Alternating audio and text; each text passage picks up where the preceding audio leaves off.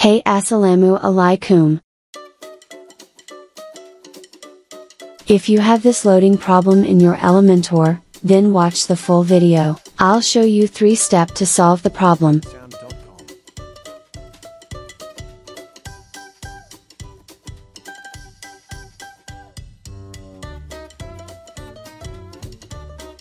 Step 1, go to Elementor, then go to Settings, then click on Advanced.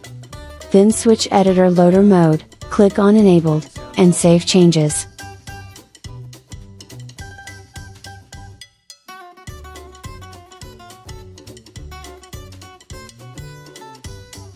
If this doesn't work, then follow the second step. Go to Elementor, then go to Tools. Then click on Version Control. The drop down button. Then click on the previous version. Click on Reinstall. After completing, go back to previous page.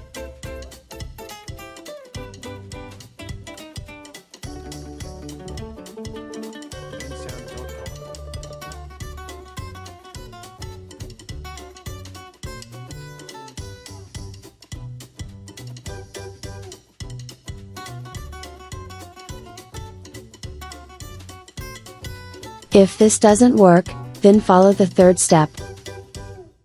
It needs the plugin called WP Optimize. If you're using WP Optimize, then go to Database.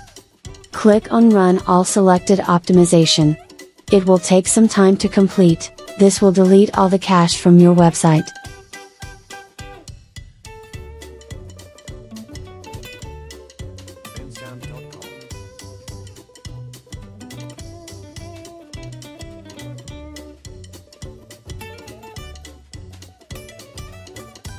Now go to your page and refresh it.